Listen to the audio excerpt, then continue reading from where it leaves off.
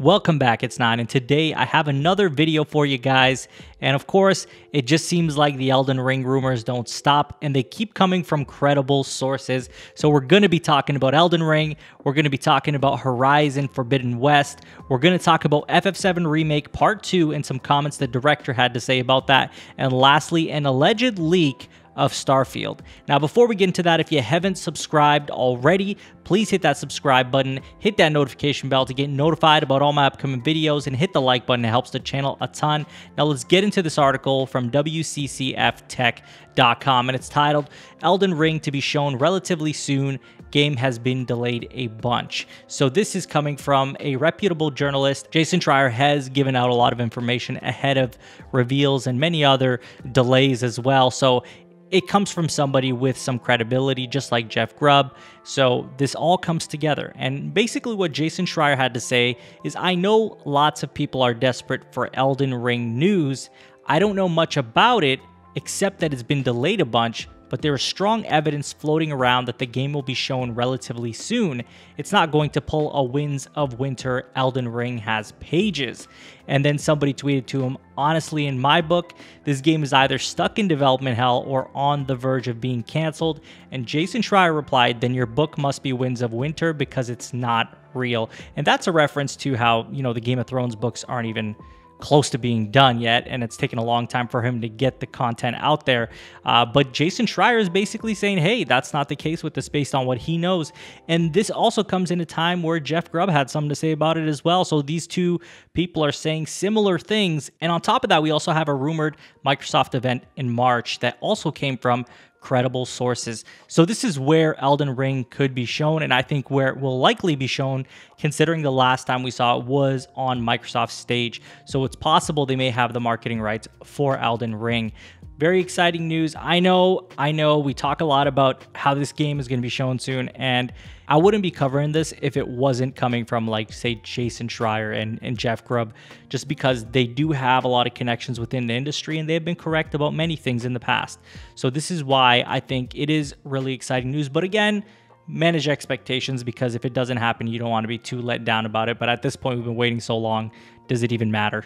so, on to the next topic, and this comes from VGC, and it's titled PlayStation Ads Suggest Horizon 2 is Still on Track for Late 2021. So, this comes from a bunch of advertisements. One advert being run on Instagram lists the Guerrilla Games sequel for late 2021, while another captured by IGN has it down for a second half of 2021 release window. Uh, the latter ad includes the recently announced June 11th release date for Ratchet and Clank Rift Apart, which offers us a sense of how up to date its messaging is. Uh, so this is pretty exciting. I think this kind of hopefully makes that rumor moot at this point. Uh, the Instagram ad also features the new Returnal release date after it was delayed four weeks ago, so it's pretty up to date. And honestly, I think that we're probably not looking at a delay just based on the interview that Jim Ryan had. And I just, I would be so surprised if they delayed this game because it's probably been in development for a long time as well. I mean, Horizon 1 came out so long ago. I think it was 2017, if I'm not mistaken. So I feel like it still would fall in line for a 2021 release date unless otherwise said by Sony. I, I definitely have uh, started to feel that that rumor has got to be wrong, especially even when we first heard about it. It just didn't make sense that they were talking so much about it being a second half of 2021 game, and then all of a sudden they would just come out and delay it, uh, probably in a last minute sense. But we'll see what happens. As of now, we're going to assume it is a late 2021 game or second half 2021 game. Now, on to our next topic, and this also comes from VGC uh, originally sourced from Famitsu, and it's titled FF7 Remake Director Says Fans Will Have to Wait for Part 2 for Full Use of PS5. So, Final Fantasy VII Remake players will have to wait for Part 2 before the series makes full use of the PlayStation 5's hardware features, according to its director. So, director Tetsuya Nomura told Famitsu that fans should not expect the series to make a full use of PS5's feature set until the eventual release of Part 2. In terms of graphics, lighting, and textures, are the main adjustments, but environmental effects such as fog have also been added to further enhance the sense of realism and immersion in the world. When asked if the game would support DualSense haptics and 3D audio, Nomura replied, As for adaptive triggers, they are partially supported. However, in terms of using all of the features of the PS5, please wait for the next game where we can start from scratch. And this is just more evidence that we're going to see this end up being a PS5 title. This is not going to be on the PS4. Obviously, with the DLC being exclusive to the PS5, we already know for sure that it's not going to take a step back with part two being on the PS4. So there's a lot to be said about that in terms of what we could expect with it coming to the PS5 exclusively. Obviously, we don't know that it'll only be on the PlayStation 5, but with the PS5's, you know, specs and everything it has to offer, whether it be 3D audio, haptics, ray tracing, you know, the SSD that is very fast, it could change the entire game completely and create a product that goes far above and beyond anything we've seen in the Final Fantasy universe in terms of games, period, that they've ever made. The biggest thing that I do want to touch up on is I remember making a video about Final Fantasy VII Remake PS5 Edition in terms of the future sequels and what could happen there. And I remember talking about how these are going to be games that are going to be coming to the PS5. They're not going to make any more on the PS4, despite what they may have said with games in production all being cross gen. And this is just further confirmation of that. And it always made sense to me that they would want to take advantage of the new hardware. Final Fantasy VII Remake Part 2 is probably not even going to see a release date till uh, 2023 at earliest. Could be later depending on uh, how far along they are, but I highly doubt we're going to see it in 2022. And I do think that Final Fantasy 16 is going to get a release date before Final Fantasy VII Remake Part 2, despite it being an already established like gameplay system and everything else. But we'll see what happens in that regard. But on to our next topic, and this is actually all about Starfield.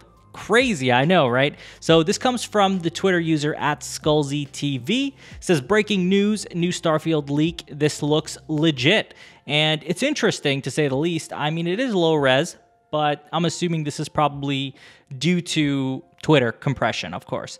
Uh, but other than that, it looks kind of promising, to be honest. It, it looks rather promising, but again, this is an alleged leak. This isn't confirmation in any way that this is, you know, reveal. Now, this does bring up the question of with the rumored March event for Xbox, is Starfield finally going to get a, a, reveal and a release date that we've been waiting for? And this could very well be the case if this is legitimate, but there's nothing here that really confirms that to be the case. So this is pretty much a rumor at this point, and I'd love to hear what you guys think about it. But overall, I mean, there's not much else to say about this. But if this is legitimate, I do believe that we are going to see this in March. Uh, but I guess time will tell. So that's all I have for you guys in today's video. I'd love to hear from you guys about your thoughts on Jason Schreier's comments. Is everything coming together leading to an inevitable Elden Ring reveal? Or are we just playing ourselves again but this time with more credible sources.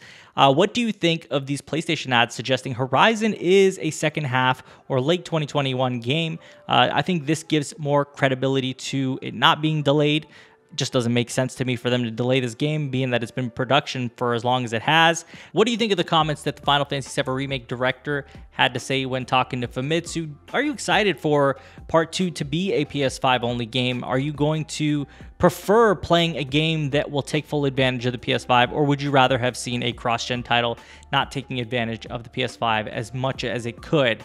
And lastly, what do you think of this Starfield alleged screenshot? Do you believe it's real? Do you believe it's fake? Let me know in the comments. And as always, if you haven't subscribed already, please hit that subscribe button, hit that notification bell to get notified about all my upcoming videos, and hit the like button. It helps the channel a ton. You can follow me on Twitter and Twitch. Links will be in the description. And share this video with a friend. I'll talk to you on the next one. Take care.